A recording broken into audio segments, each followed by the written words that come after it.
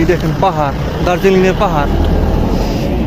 কত বড় বড় পাহাড়, বোঝাই জানা কুয়াশা বেশি দিকে কি ভিউ। এই যে দেখেন, পাহাড়ের ঘর বাড়িগুলো দেখেন। Good morning, Siliguri bus stand থেকে। আমি সকাল পাঁচটা দশ মিনিটে রওনা দিয়েছিলাম।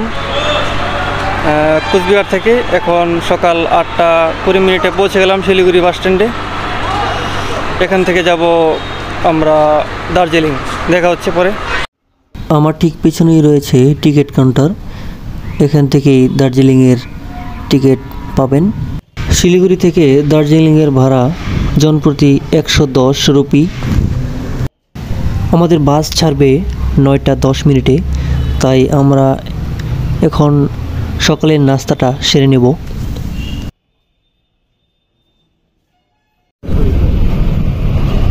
পুরা কুয়াশায় অন্ধকার। কত উপরে গাড়ি হ্যাঁ? কুয়াশা না থাকলে অনেক সুন্দর দেখা যেত।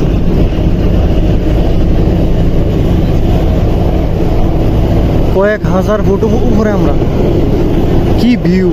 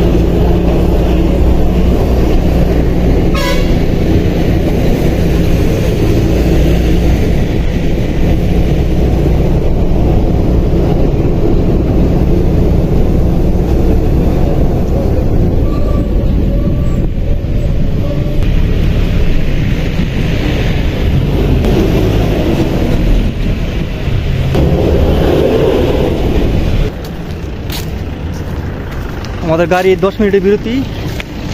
এই দেখেন পাহাড়, দার্জিলিংয়ের পাহাড়। কত বড় বড় পাহাড়, বোঝাই জানা কুয়াশা বেশি দিকে কি ভিউ।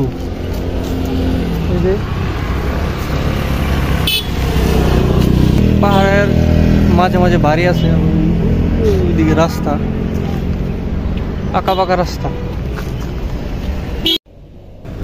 দশ মিনিটের বিরতি শেষেই আমরা আবার চলতে শুরু করলাম দার্জিলিং শহরের দিকে।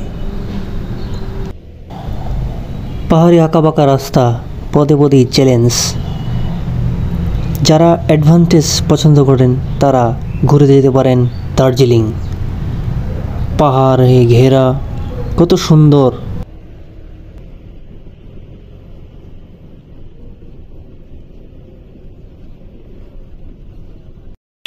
আমরা দার্জিলিং শহরে পৌঁছে গেলাম। শিলিগুড়ি থেকে দার্জিলিং আসতে আমাদের সময় লাগছে প্রায় চার ঘণ্টার মতো। এখন হাটটাতে আর একটু সামনে যেতে হবে। ওইখানে ট্যুরিস্ট স্পট আর আজকে প্রচুর ঠান্ডা এখানে। আর দর্শনার্থীর সংখ্যাও অনেক বেশি। প্রচুর লোক আসছে ভারতের বিভিন্ন জায়গা থেকে এবং বাংলাদেশ থেকেও আসছে।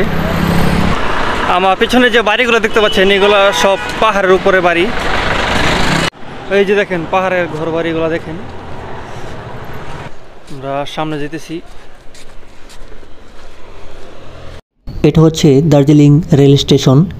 এখান থেকে রেলে চড়ে আপনি দার্জিলিংয়ের বিভিন্ন জায়গা ঘুরে দেখতে পারেন।